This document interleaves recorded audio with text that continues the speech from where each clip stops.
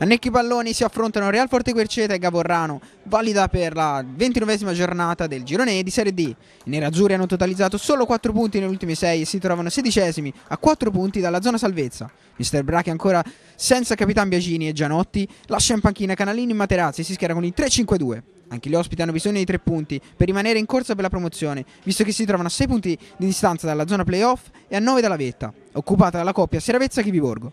Marco Cacitti, senza l'ex Mastino e Berardi, lascia ancora in panchina Lamioni e Ferrante. Debutto per l'ex Viareggio Scognamiglio. All'andata finì 0-0, arbitra il signor Crescenti di Trapani. Dopo un inizio tutt'altro che emozionante, gli ospiti passano in vantaggio con la prima verazione interessante. Angolo battuto da Cerretelli, si crea una mischia in aria, dalla quale Placido è più lesto a colpire il rete e a battere un non perfetto Puccini. Due minuti dopo, Puccini è bravo a evitare il raddoppio sul tiro di Jukic al ventitresimo, rischia l'autogol Bruni. Il suo intervento per poco non sorprende Salvolaggio. Dalla respinta dell'angolo si addormenta a difesa del forte, ma Gomez De Pina spreca l'occasione sbagliando il passaggio finale. Alla mezz'ora, prima vera azione dei nerazzurri, con Bertoni e Vignali protagonisti, ma il tiro del numero 10 viene salvato sulla linea da Scognamiglio.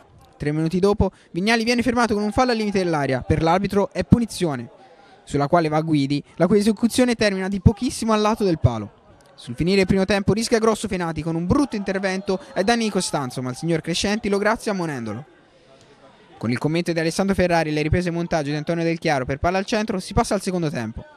La seconda frazione prosegue sulla falsa riga del primo, con ritmi molto blandi. Nei primi minuti, unica nota da segnalare il rischioso retropassaggio con la quale Puccini rischia sul pressing di Jukic.